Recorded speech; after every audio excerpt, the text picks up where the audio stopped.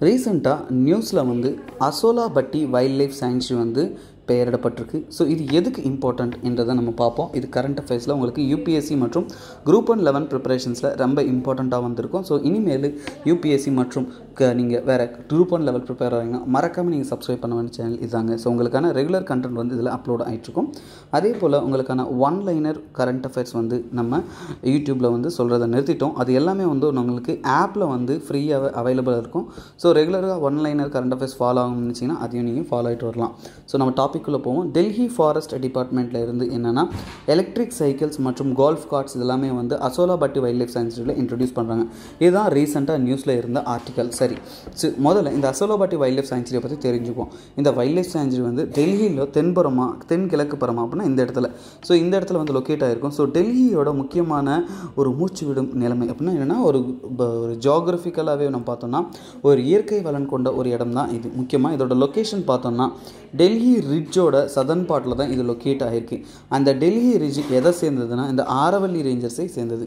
சரி ஆரவல்லி ரேஞ்சஸ் எங்கே இருக்கணும்? நம்ம இப்படி பார்த்தோம்னா நம்ம இந்தியாவில் இந்த குஜராத் கிட்டேருந்து ஆரம்பித்து ராஜஸ்தான் தார் டெசர்ட்ஸ்க்கு கிழக்கு பரமாக வந்து இந்த மாதிரி டெல்லி வரைக்கும் இது வந்து நீண்டு இருக்கும். ஸோ அதுதான் நம்ம ஆரவல்லி ரேஞ்சஸ் என்று சொல்லுவோம் இந்த ஆரவல்லி ரேஞ்சஸ் எங்கேருந்து எங்கே ஆரம்பிக்குன்னு பார்ப்போம். குஜராத்தில் ஆரம்பித்து ராஜஸ்தான் ஹரியானா வரைக்கும் இது அப்படி எக்ஸ்டெண்ட்டாக வந்து எக்ஸ்டெண்ட் பண்ணும். இந்த ஆரவல்லி ரேஞ்சஸ் தான் ஓல்டஸ்ட் ஃபோல்டு மவுண்டன்ஸ் என்றும் கூறப்படுவது. அதே போல் இந்த சாங்சுரியோட ஸ்பெஷாலிட்டி என்னென்னா இது வந்து song Sariska Delhi wild life corridor என்றும் சொல்லுவாங்க. ஏன்னா சரிஸ்கா டைகர் ரிசர்வ் என்பது ராஜஸ்தானில் இருக்குங்க. ஸோ அதோட எக்ஸ்டென்ஷன் தான் இதுன்னு தெரிவிக்கப்படுறாங்க. ஏன்னா அந்த சரிஸ்கா கூட டெல்லி ரிட்ஜ் கிட்ட தான் இருக்குது அதே போல் இங்கே இருக்கிற ஒரு கிளைமேட்டை பற்றி தெரிஞ்சுக்கிறோன்னா கிட்டத்தட்ட semi arid type of climate அப்படின்னா அப்படியே ரொம்ப மோசமாக அந்த வறட்சியான டெசர்ட் மாதிரி இல்லாமல் அப்படின்னு கொஞ்சம் வளமையாகவும் இல்லாமல் அந்த நடுவில் தான் இருக்கும்.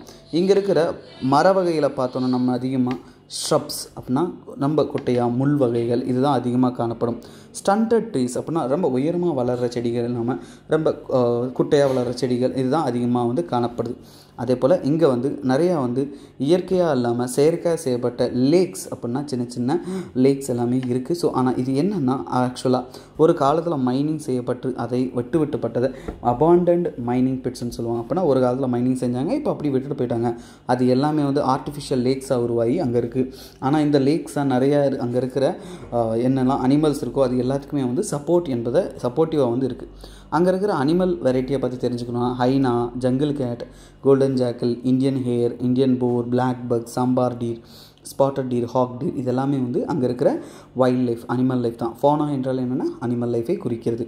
அதே போல் இங்கே இருக்கிற முக்கியமான ஒரு வல்ச்சர் வகை என்னென்னா ரெட் ஹெட் வல்ச்சர்ஸ் அதே போல் ஈஜிப்டியன் வல்ச்சன் இது ரெண்டுமே வந்து முக்கியமான வகைகள் அங்கே இருக்குது.